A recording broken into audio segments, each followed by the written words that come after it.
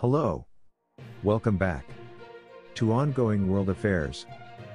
Rockets were fired at Kabul airport on Monday morning, local time, as the threat of terror attacks increase as the United States race to complete its withdrawal from Afghanistan.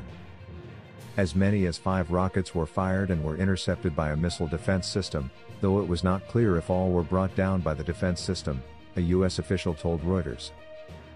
The official said initial reports did not indicate any U.S. casualties, but that information could change.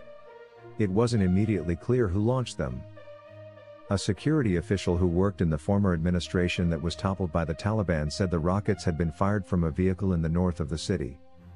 Smoke could be seen rising near the airport and the sound of the airport's missile defense system could be heard by local residents. Residents also reported seeing rockets exploding in the air and shrapnel falling into the street, suggesting at least one rocket had been intercepted.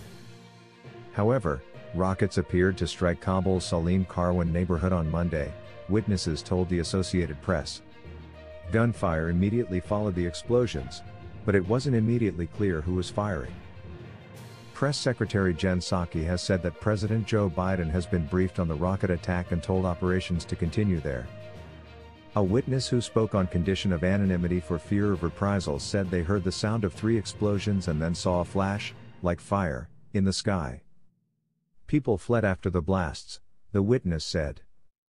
White House Press Secretary Jen Psaki said early Monday morning that President Joe Biden has been briefed on the rocket attack at the Kabul airport.